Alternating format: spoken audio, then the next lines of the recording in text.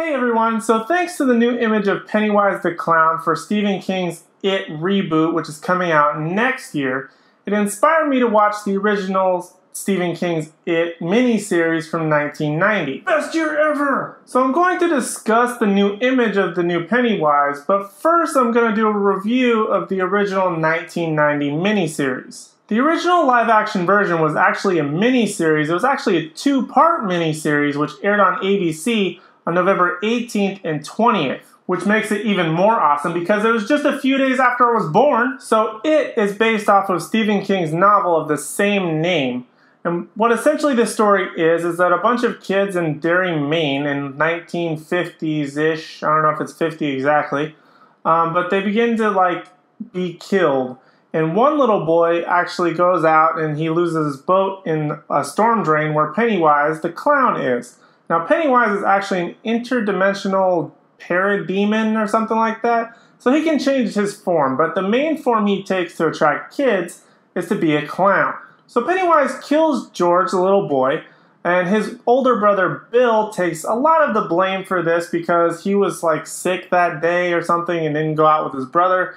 Anyway, um, so Bill uh, starts to be tormented as well by Pennywise, and so do several other children in the town they sort of become friends through this sort of interaction. A couple are friends already, but they form what's called the Losers Club. They eventually go after Pennywise and seemingly kill him.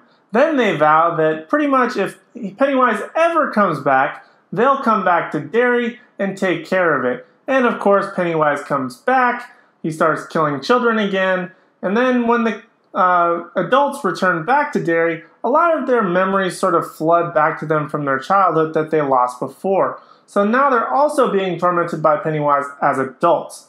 They pretty much have to deal with this situation and basically get rid of him, uh, which they pretty much do. Spoiler alert. Now, I did not read the original Stephen King novel, but it has come highly recommended to me by a couple of people. So I do plan on reading it most likely before I see the 2017 version, but that's just going to come when the time comes. I will eventually read it.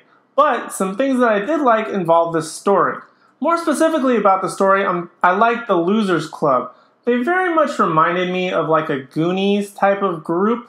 Just like these this hodgepodge of kids who sort of come together. You don't really know how or why they get along so well, but they just do. They seem to understand each other on a level that probably no one else does. Another big positive for me revolving around story is the element of longevity. I liked how the story sort of had to do with 1950s, and then the, as the adults grow up and they have to come back to Derry in the 1980s, I like that whole arc. It felt like a very full arc.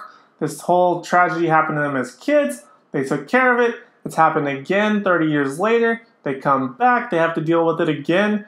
Uh, but they're in a little bit different circumstances. They've grown up, they sort of evolved as people, as people do. And I like how they sort of carried that emotional weight with them from when they were kids and also from their experiences outside in the real world. I also like the weird, creepy being that was Pennywise slash It. It was very creepy, especially for 1990s. I definitely saw a lot of parallels. I'm not sure when the story was written originally, but I saw a lot of parallels to other famous horror characters, such as Michael Myers and Freddy Krueger. There are a lot of similar visuals uh, in this miniseries. I don't know if the directors took influence from that necessarily, but you kind of got the same instances, like when Pennywise in the beginning is standing behind like these sheets and it's blowing in the wind, and you see him and then he disappears when the sheet goes away. Same sort of concept with Pennywise only being seen by certain people. Same kind of concept goes with Freddy Krueger. Because you see him in your dreams, you also can see him in reality, sort of reality, as long as you're asleep wherever you are, and interact with him and he can change form. Stuff like that. So I got a lot of those influences from classic horror characters. I don't know if it was influenced by it or vice versa, but it definitely added a lot of weight to the character and a lot of different things that I like about classic horror characters into this film. But I have to say, a lot of these positives are thanks to the original source material from Stephen King's novel. Now, on that note, let's get to the bad of this miniseries.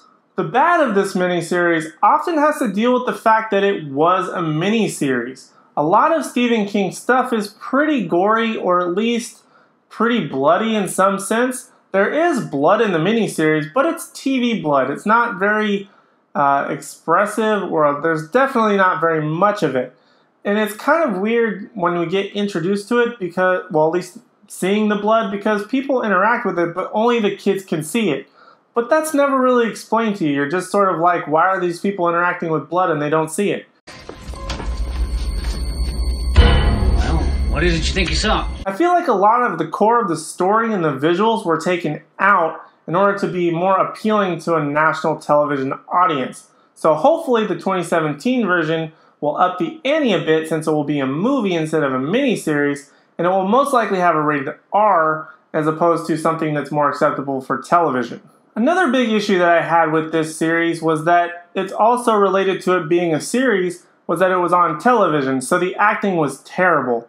Now, a lot of the actors did pretty bad. The best actor by far was Tim Curry, who did Pennywise slash It. He hands down was the best performance of the entire miniseries. Aren't you going to say hello?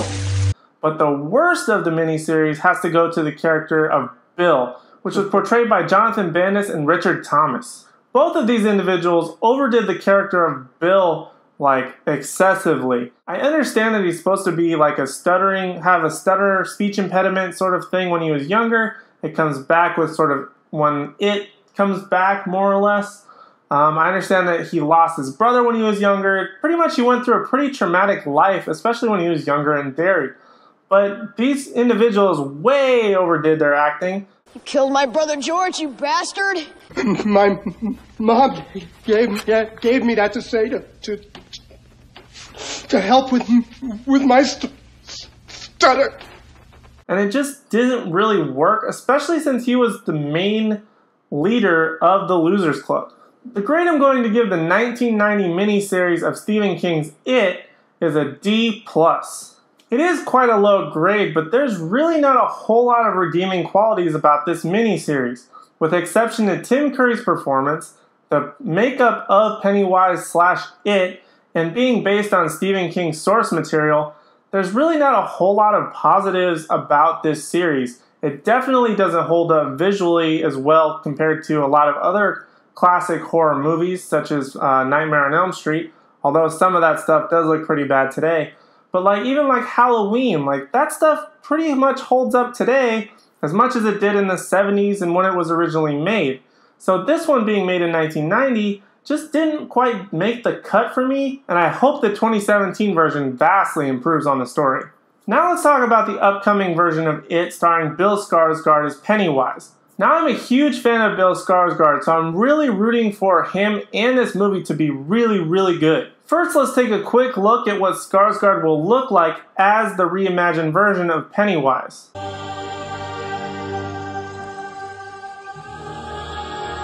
That's the stuff of nightmares. It looks amazing in my opinion, and much scarier and creepier than the 1990 Tim Curry version.